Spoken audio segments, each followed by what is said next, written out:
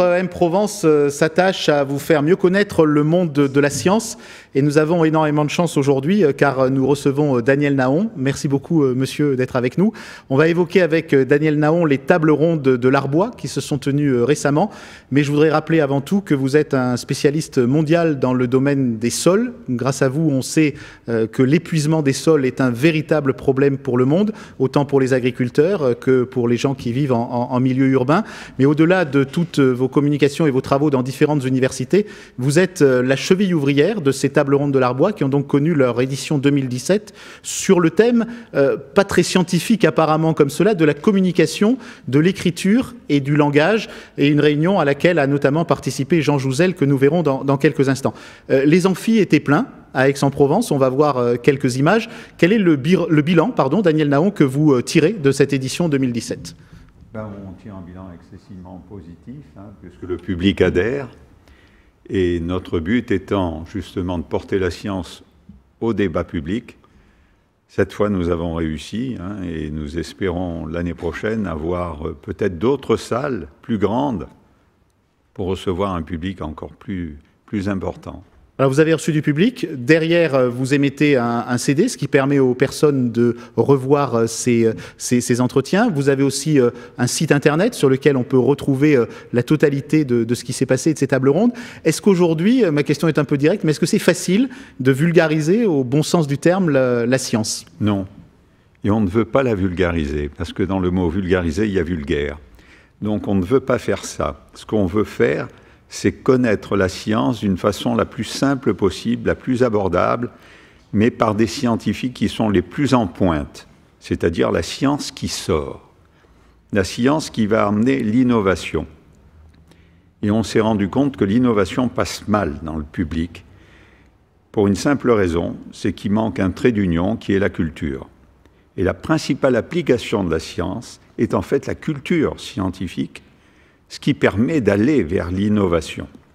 Aujourd'hui, on voit que les médias, et on peut nous-mêmes battre un peu notre coulpe, on, donne autant la parole à des gens euh, qui apparaissent parfois comme un petit peu inquiets de l'évolution scientifique, de, l'innovation, euh, qu'aux plus grands chercheurs. Est-ce qu'aujourd'hui, euh, vous vivez mal ce, déséquilibre qu'il y a dans, les médias, ou quelqu'un qui va se dire contre les ondes ou contre tel ou tel compteur électrique moderne qui doit pourtant apporter du, progrès, a autant de, place et, et d'audience que quelqu'un qui détient la, vérité scientifique. Je crois que vous êtes en pleine actualité.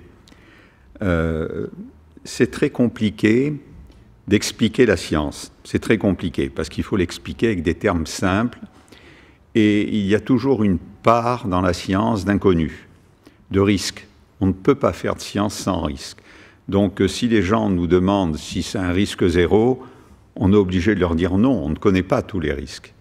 Hein, et dans les énergies vertes aujourd'hui, euh, que tout le monde préconise, il y a des risques également, que les gens ignorent. Mais il y a des risques.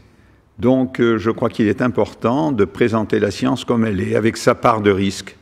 Et on a tous dans notre société une part de risque. Et c'est pas facile, c'est pas simple. C'est pas simple et c'est pas simple, c'est pas de la faute des médias, c'est de la faute de la rapidité de la communication.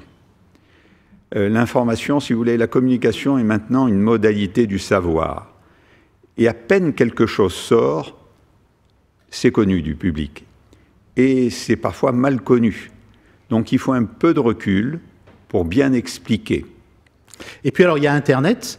Euh, Internet où on va maintenant dès qu'on a euh, la moindre pathologie euh, pour savoir si on n'est pas plus fort qu'un médecin ou pour peut-être pratiquer l'automédication. Internet, ça peut être la pire et la meilleure des choses. Je vais vous proposer d'entendre ce que nous a confié Jean Jouzel, le célèbre climatologue, qui était un de vos invités, membre du groupe d'experts intergouvernemental sur l'évolution du climat, le GIEC. Jean Jouzel était à Aix pour les tables rondes de l'Arbois et notamment après les échos de l'élection de M. Trump aux États-Unis et d'un certain nombre de choses justement sur l'évolution du climat, on lui a demandé son point de vue sur ces questions. On, écoute Jean Jouzel. À l'ère du numérique, il y a beaucoup de réactions. Ce qu'il n'y avait pas il y a 15 ans, disons, vous écriviez un article, vous publiez quelque chose, il n'y avait pas de réaction du grand public. Maintenant, le grand public peut réagir. Et là, les, réactions dans ce cas-là, c'est un peu ce dont je parlerai, sont très hétérogènes. Donc euh, voilà, c'est un peu l'idée. Puis le dernier point, je pense que c'est vraiment à l'ordre du jour, c'est vraiment un vrai problème de communication. Je l'évoquerai aussi parce que c'est, euh, ben voilà, nous sommes ici euh, les décisions de Donald Trump sur le climat. Je m'éloignerai un petit peu du, un petit peu vraiment de, l'aspect simplement santé, mais euh, je crois que c'est la santé de notre planète qui est, qui est en jeu.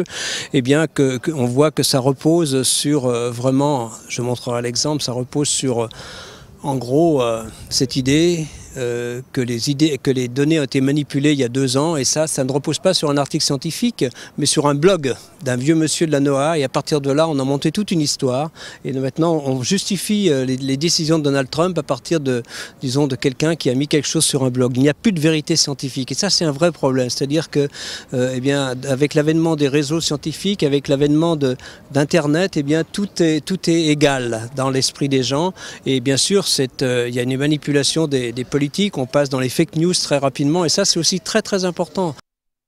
Alors est-ce que c'est pour ça que vous aviez mis la communication au centre de l'édition 2017 des tables rondes de l'Arbois? Oui et non. Oui et non. Oui et non. Ce qui, ce qui importait, c'est de, de savoir comment était né le langage, comment on était passé à l'écriture, et là il a fallu des millions d'années, et ensuite comment euh, on a pu communiquer de façon moderne. Donc c'était tout un continuum. Mais c'est vrai qu'aujourd'hui, la communication est très rapide. Très rapide et c'est dangereux. Ceci dit, euh, on peut quand même la dominer. Hein. On peut dominer cette communication et on peut, à condition d'expliquer et de porter au débat. Il y a depuis quelques années un problème qui touche la science. Et j'irai là plus loin. Je dirais qu'à côté de la science est née par des marchands d'illusions une pseudo-science. Et cette pseudo-science marche parallèlement à la science et c'est elle qui fait des dégâts. Eh c'est elle qui interprète ou qui donne une interprétation de la science qui n'est pas la bonne. Si vous voulez, la, la découverte scientifique n'est pas du tout amorale.